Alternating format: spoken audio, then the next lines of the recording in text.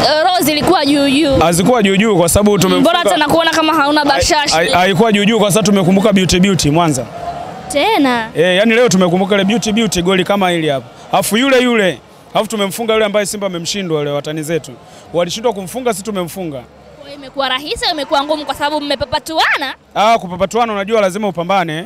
Sisi tumepambana tumepata ushindi. Wenzetu walipambana siku ile akashindwa kupata ushindi. Tena sisi tumepambana wasi wa kiume. Beauty beauty ukaona kabisa goli moja tumepata ushindi tunamshukuru Mwenyezi Mungu. Ila mlikuwa mna hofu dhidi ya KMC. Ah, hofu sisi unajua kwanza tu, leo tumeweka rekodi.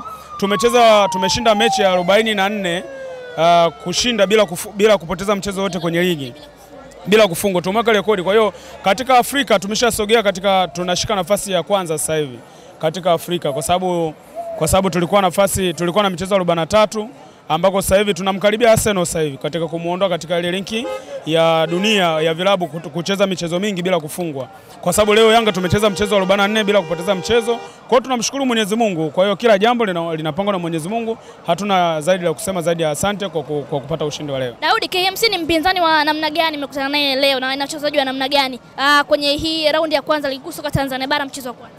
Aa, KMC wako vizuri, wana wachezaji wazuri. Kuna kuna watu kama kina Makaga wale wanacheza vizuri sana, kina yani wachezaji wengi akina Mateo akina Waziri Junior wanapambana, wanaipambania timu vizuri.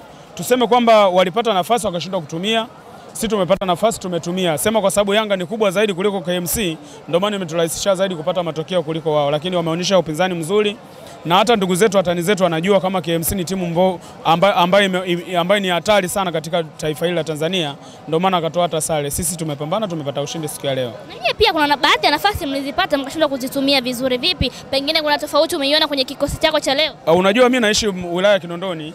Mi kwa kuwa naishi wilaya ya Kinondoni, niseme tu kwamba ilikuwa, ilikuwa, ilikuwa, ilikuwa lazima tuone huruma wakazi wa Kinondoni. Kumbuka, kumbuka wachezaji wetu wengi wanatoka wilaya ya Kinondoni, kwa hiyo ilikuwa ni rahisi sana kuwaonea huruma siku ya leo. Daudi, kesho utakuja kwenye Mzizi Madabi?